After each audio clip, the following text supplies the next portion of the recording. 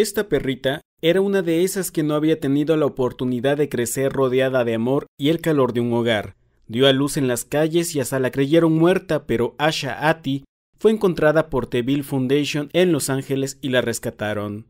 Ella es una pequeña Shih Tzu y su historia es muy emotiva.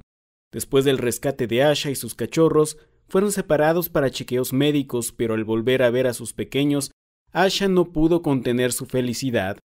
Luego le dieron un baño, pues tenía pulgas y el pelo en muy mal estado. Finalmente pudo entregarle sus energías a sus cachorritos, quienes estaban hambrientos.